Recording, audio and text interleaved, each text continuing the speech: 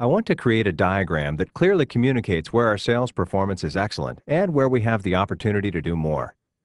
With Microsoft Office Visio Professional 2007, I can add data graphics to this diagram. Data graphics, such as these flags and progress meters, make it easy to see where we're underperforming or where we're exceeding our goals. Here's how I added data graphics to my diagram. First, I select the shape that I want to add the data graphic to. Then, I click the Data menu and click Display Data on Shapes. In the Data Graphics pane, I select the data graphic I want to use. I'll use this one with the progress meter. And Visio applies it to the selected shape. I could have achieved this same result by creating my own data graphic instead of using one supplied by Visio. Here's how. I begin by clicking the New Data Graphic link.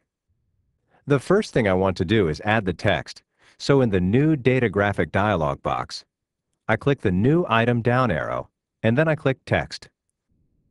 In the New Text dialog box, I click the Data field down arrow and select an item from the list. I'll select Revenue Change, since that's the area I'm interested in. Then, I click the Callout down arrow and select a style from the list. Visio stacks the callout neatly with the other callouts in the data graphic. If I wanted, I could adjust the callout alignment in the callout position area, but I'm going to leave it where Visio put it by default. In the Details area, I can choose specifically how I want the callout to look. I click OK to return to the new Data Graphic dialog box. I can see the text item I just created at the top of the list. I want to add a data bar, the speedometer, to my data graphic next.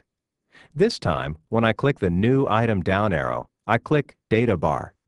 In the New Data Bar dialog box, I click the Data field down arrow and select an item from the list. Since I'm comparing revenue to quota, I'll pick Quota.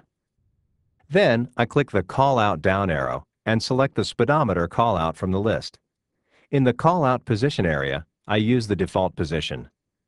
In the Details area, I can choose how I want the callout to look and select minimum and maximum values if I only want a certain range of values reflected. Again, I click OK to return to the new Data Graphic dialog box. I'll add icons next. I click the New Item down arrow again and click Icon Set. Visio Professional 2007 includes a number of icon sets, like flags or trend arrows, that I can use to show comparisons. In the New Icon Set dialog box, I click the Data field down arrow and select Versus Quota. Then I click the Callout down arrow and select how I want the data represented, in this case with colored flags. And in the Rules for showing each icon area, I select the values that correspond to the different colored flags. A red flag means that the sales revenue didn't meet our quota. A yellow flag means that the revenue is moderately exceeding our quota and a green flag means that revenue exceeded quota. Finally, for callout position, I'll click Far Right for horizontal. I click OK to close the New Icon Set dialog box. Finally, I want shapes that indicate higher amounts of revenue to display in a darker color. So I click the New Item down arrow and then click Color by Value. With this new option in Visio Professional 2007, I can apply color to indicate unique values or ranges of values. In the New Color by Value dialog box, I click the Data field down arrow and then select an item. In the Coloring Method field, I can apply the same color to all of the shapes that have the same value.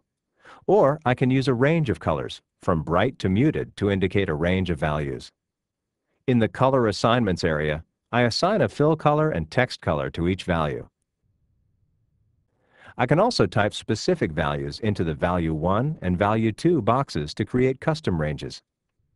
I click OK twice to close the dialog boxes, and I'm done.